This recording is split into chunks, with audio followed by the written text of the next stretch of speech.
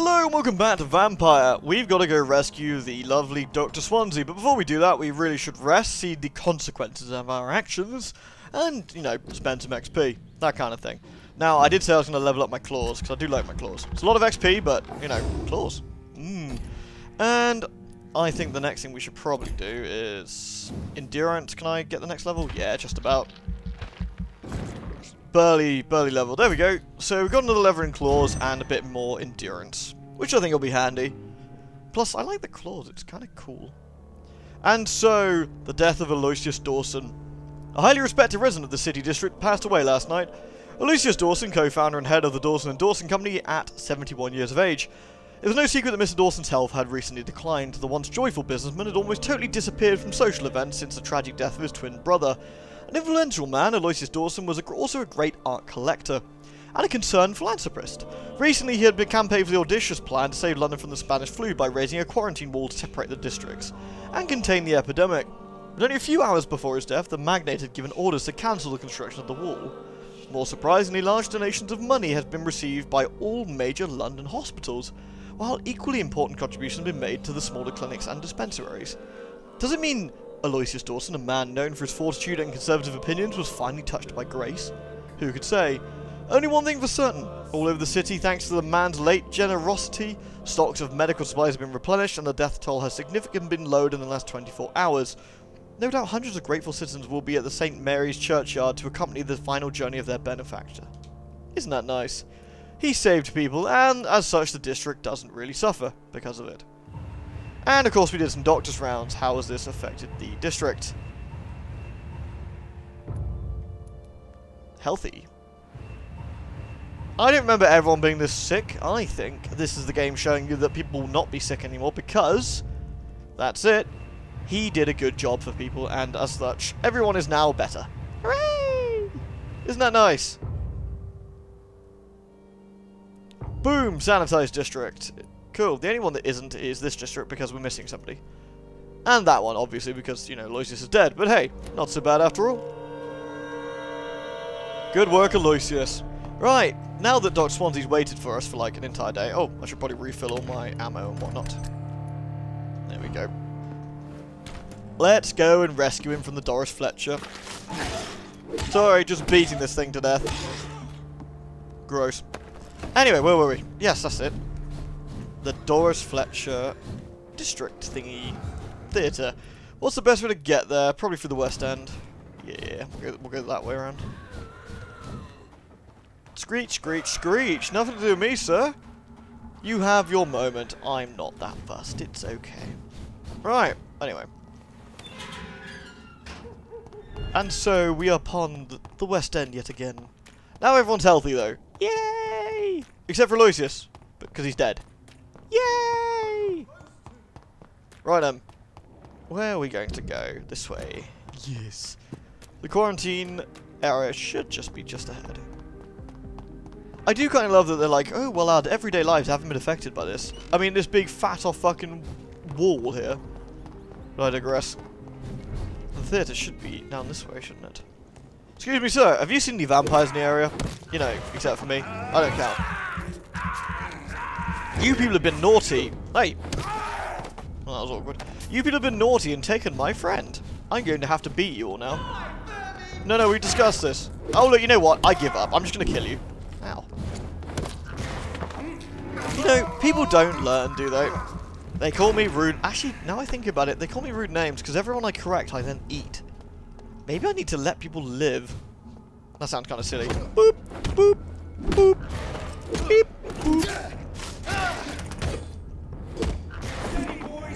Steady, boys. This one's mun- Hey, I didn't even munch it. My mouth didn't even move. That was a scam. Excuse me, sir. Oh, Christ. I threw a farty grenade and it did nothing. Crivens. Well, Crivens this, sir. With my claws and my big boinky stick. Because that's what we're all here for. Actually, I imagine we're all here for the story at this point since the combat hasn't really changed in the last 20 odd hours, has it? The theatre, yet again. Now, we're actually here for a side quest too. So Priwen never left Doris's theatre after they invaded. They must be holding Edgar here in their new headquarters. Yes, I would imagine so. Now, we actually do have a quest here, though. Let me bring up my magical quest button. Whoops. Da da da, Pandora's Box, which is also in the theatre. Hooray! Right, let's have a good nosy around the... Alright, sir. Oh, that went right through him. What a scam. I've got a big blood shield here. I'm going to stick it... Oh. Ow. Sir.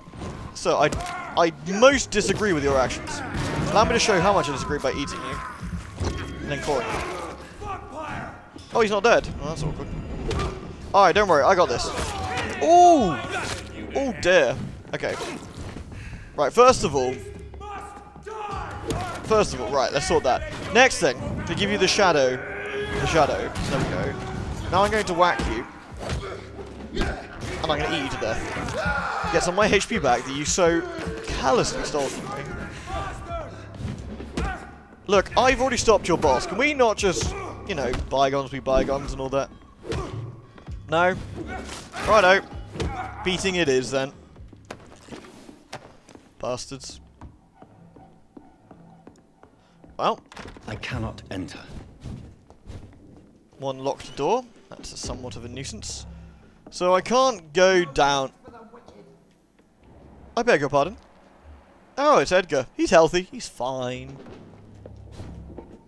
Oh, hello. Excuse me. Sorry. I'm sorry to sort of barge in here unannounced and eat you, but uh, you took my friend, so I'm going to have to beat you all. It's nothing personal. Well, I mean, it's completely personal. You stole my friend, but... It's, fine. Look, I'll get over it. The point being is, I do have to give you old-fashioned stabbing, and there's nothing up here. Kind of hoping there'd be some goodies or excitement in my life or something, but there is neither goodies nor excitement up here. Just, just swooshing. Boop. You know, I've managed to approximately travel about two feet. We do the Lord's work here. The Lord's work? I don't think you do, because the Lord would probably not want you to attack innocent people. Although I'm not innocent, so I don't know if that really counts. Point being, ow. Point being, is that I'd rather them not attack me, and I see myself as innocent. Ow. At the very least, Edgar's innocent, so that's naughty. That does put you on my naughty list, and those people on my naughty list get spanked. And by spanked, I mean hit with a big stick. Oh yes. Well, this is going swimmingly. Is there a way down? Okay, think I sussed it. There is something I've missed. That's what it was. Don't worry, I use the power of editing. No one will even know how long that took me. Okay. Right in front of me is a note. McCullum's report. Oh boy. I just finished reading Doris Fletcher's journal. As painful and dreadful as it was, my god, the woman planned to see everyone in murder afflicted by infecting all those who would come to see her next play. It helped me understand greatly what is going on. Doris Fletcher's Dor Doris Fletcher. Doris Fletcher's real name was Doris Jones. She was the daughter of some Harriet Jones who'd been treated as a patient for a long time at the Pembroke Hospital. She clearly hated her mother, but used her fame and notoriety to see her while visiting the poor and sick in the East End. I don't know exactly what happened then, but this is how her mother infected her before returning to the theatre, and how she turned into that monstrosity that the leech known as Jonathan Reid finally defeated.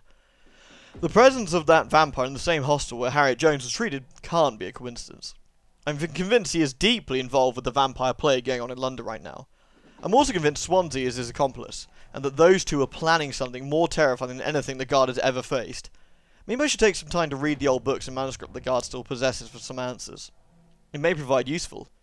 In the meantime, I better send some patrols to investigate what's occurring at the Pembroke.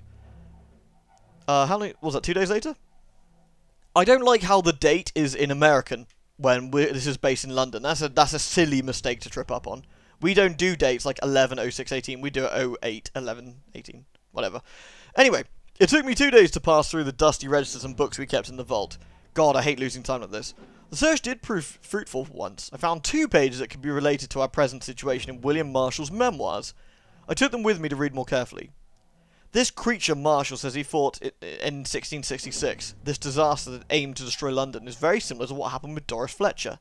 Disease, infection, hatred of the living, a desire to see the city ransacked. I have no doubt that the bloody old leech of William Marshal is behind this, and that he is back. This could be our greatest accomplishment. If the, if the guard could get rid at, uh, at last, ugh, if the guard could at last find and destroy that old bastard. I believe what Marshal did in 1666 is exactly what Reid is now trying to do. Did the creature, this disaster, escape their will? Is that why Marshal destroyed him in, in 1666, and Reid did the same with Doris Fletcher before becoming such a creature? I don't know. Those two are clearly working together, and Swansea is helping them. I'll immediately give orders to have him arrested and interrogated. As for Reid, I'll destroy the evil beast myself, and then we'll deal with William Marshal and this disaster thing. Priwen will prevail once Doris more. Fletcher was about to become a disaster. I'm getting close to having all the evidence. Yeah, getting there, that's for sure. Right, at least now we can go to the basement. I am good at video games. Yay! No, seriously though, I found the key. Hooray! Right then. Let's... Well, the door we want to go into It's is... locked, all right. Of course it is. Is that a notepad or is that just random things? Like, I kind of wish the game would highlight notes a bit easier. Like, I kind of missed it that time. I mean, admittedly, I was doing a lot of fine scooting. No civilians allowed, sir. Oh, I'm terribly sorry. Are you stupid? Uh, no, I'm not stupid, I'm just a vampire. I mean, sometimes the two and two go together, but, you know, that's besides the point. Ah, he dead, nice.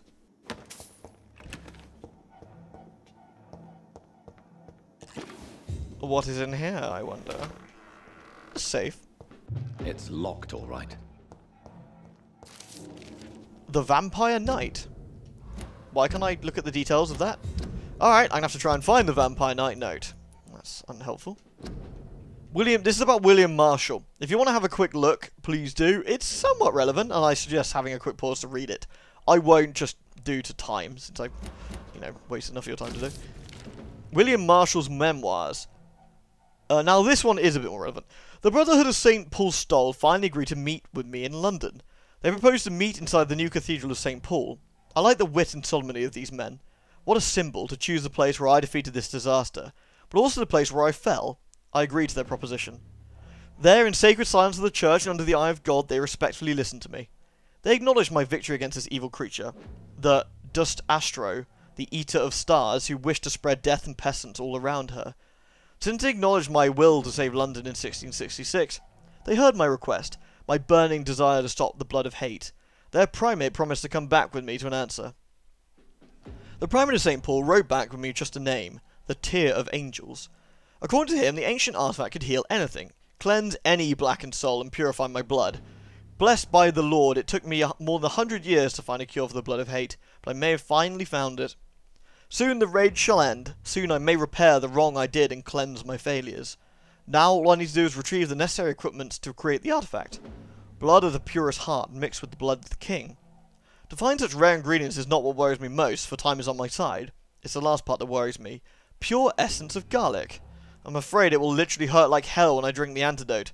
But if that's the price to pay to cleanse my soul and correct my mistakes, I'm ready to endure this Blood of a pure pain. heart, garlic, blood of a king. I don't understand. Perhaps this is what McCullum drank. I had better keep that in mind. It's locked, all right. I believe there is a key to that lockbox. Uh, however, I don't think I can go through the next door without saying all, uh, all that up. So I'm going to go look for that key, so do give me a sec. Aha, right, I was looking for this, uh, so I didn't go very far, don't worry. Pinned note, evidence safe. Until further notice, this safe will be used to store sensitive evidences. It must always be locked. If you need access to it, you can find me on the last floor to get the key. Bloody remember to bring it back to me when you're done. Rodney. I should find the key to that box. I should find the key to that box. Let us find Rodney, and then with this Rodney, we can, you know, get the thing we need. And then not read it. Remember, that's the key. If we read it, the quest breaks. Well, it doesn't break. We just get in trouble. So let us scootly scootly scoot all the way back up. He said he's on the top floor. Oh, uh, is this Rodney? Rodney, Rodney, Rodney. Let me beat this man half to death first. Ow. Watch out! He's eating me, just like all the other vampire things. Anyway. Is, it, is this you, Rodney? Rodney looks like the kind of guy who wears a hat like this. I think this is Rodney.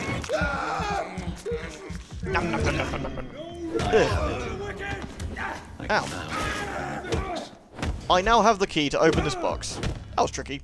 Also, this is not the top floor, is it? I'm pretty sure there's a floor above us. Because we fell down onto this floor. Ah, details. Point being is we can get the thing we need. And then we can carry on. Yay! Scoot, scoot, scoot, scoot, scoot, scoot, scoot. Uh, there we go. Right, let's open this safe. Trust me, this is relevant, I promise. I really don't know if I should read this. Uh, I shouldn't. Seriously, I shouldn't. Let's wait until... I'm not going to do anything until that's gone off my screen. There we go, so I can't accidentally read it. Hey, Edgar. Edgar. Edgar, can you hear me? Jonathan, is it really you? Easy. Easy. Save your strength. I'm getting you out of here.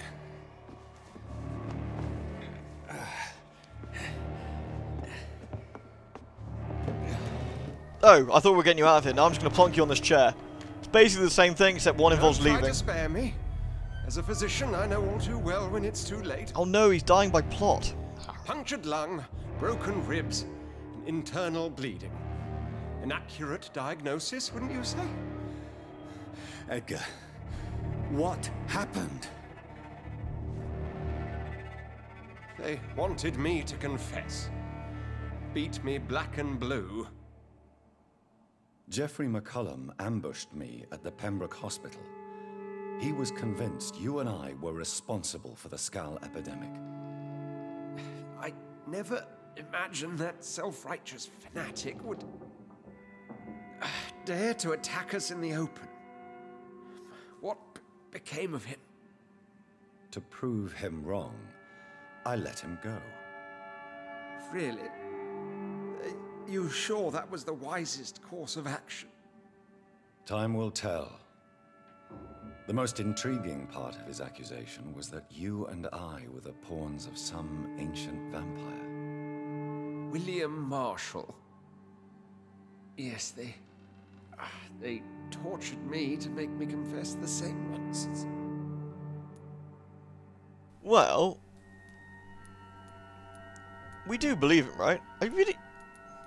Are you hiding something from me, Edgar? I think you're hiding something, Edgar. What do you mean?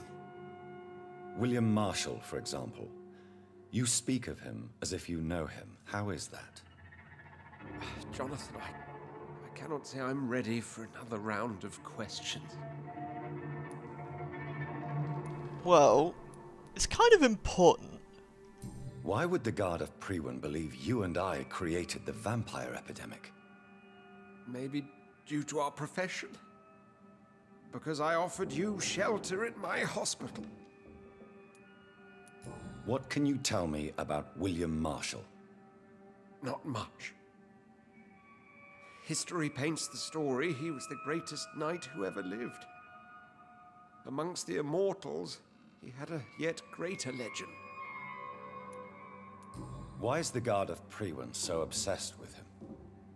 He was the only ancient vampire to escape the first great hunt launched by the Guard of Priwen in 1854. They believe he's an evil creature plotting his return. Why would he deserve such a reputation? I cannot say. The Brotherhood of St. Paul's Stole has next to no intelligence on him. All I know is that he's supposed to be the oldest of all the British vampires. Next to no intelligence on him, there was an entire note about him in the journal from William Marshal. Hmm. While investigating the epidemic, I read some of McCullum's findings. I think you have some explaining to do. I have nothing to hide, Jonathan. Nothing at all. Do you remember when we suspected Sean Hampton of killing Harriet Jones? Yes. The terrible episode that came as a shock to us all. Harriet Jones faked her own death. When I found her in the sewers, she confessed she wanted everybody to pay for what happened to her. That woman was extremely bitter, full of hatred and festering anger. Do you remember? Oops. Sorry. Do you know Doris Fletcher's real name? No, I'm afraid not.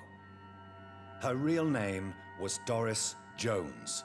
She was the daughter of Harriet Jones. What do you want me to say, Jonathan? Yeah, I think we know where this is going, and this is a bit unfortunate. Doris Fletcher got infected in Pembroke from Harriet Jones, but how did Harriet Jones get infected when she was hospitalized exactly? Doris Fletcher visited her mother at the Pembroke Hospital. That's how she first got infected. I know nothing about that. Miss Fletcher once came to visit the sick. That is all I know. No, Edgar, there is more. Doris Fletcher was Harriet Jones's daughter. They exhibited the same symptoms. Blind hate and strong physical mutation. What does this sad story have to do with us? Well, I was about to say, don't you see the pattern? Come on, Edgar. Don't you see the pattern here? The epidemic, the link between Doris and Harriet, the suspicion of McCullum. How could I? I never saw Harriet Jones again after she fled the hospital. Do you know where we are? Doris Fletcher's theatre. This is where that hateful creature plotted to spread the epidemic across London. I only briefly met Miss Fletcher once when she visited the Pembroke Hospital. You say it was to see her mother. She seemed like such a sweet and graceful woman. My point exactly. The disease turned her into a bitter soul, driven by vengeance just like her mother. A symptom of all the infected patients. Certain diseases are known to produce similar effects. Rabies, for example. And rabies is not the devil at work. Doris and Harriet shared more than a hidden family bond. They were the embodiment of the epidemic and are linked to the Pembroke Hospital. Come on, Edgar, this is no coincidence. I swear I'm at a complete loss. All I did was administer vampire blood to cure old Harriet. There was no evil plan, no diabolical plot. You did what? Did what? I know. I tested the regenerating and healing properties of vampire blood on Harriet Jones. My only intention was to find the cure for influenza, I swear. Whose blood did you use? William Marshal's? Mine? Lady Ashbury's. While transfusing her with human blood, humanely appeasing her hunger, I also kept samples of her blood for my You research. used her blood on Harriet Jones? My God, Edgar, that's unethical. You betrayed two of your patients at the same time. I made a mistake. But what is science if not trial and error? We both know it, Jonathan, we both know it. What a poor justification for your morbid fascination and thirst for glory. You have worked beside me. You saw what I'm doing at Pembroke Hospital. Jonathan, you know I'm not an evil soul. Just another victim of this tragedy. So we have the option here to turn him into a vampire, should we want to. Embrace him, which of course we're not going to do, because, you know, we're not doing that on this run. Or let him die. Now, honestly, my thoughts here, this man is an unethical doctor, and what would an unethical doctor do with the unlimited time in the world to experiment on his patients? Edgar, sorry. Yes, Edgar, you're about to die. I won't say it's fair, but I can't say you don't deserve it. Your words hurt deeply, Jonathan. But they come from a friend. I. I helped you, remember? Yes, I remember. The second I saw you in that bar, I knew we would accomplish great things, you and I. I thought you were a vampire, till you brandished that cross.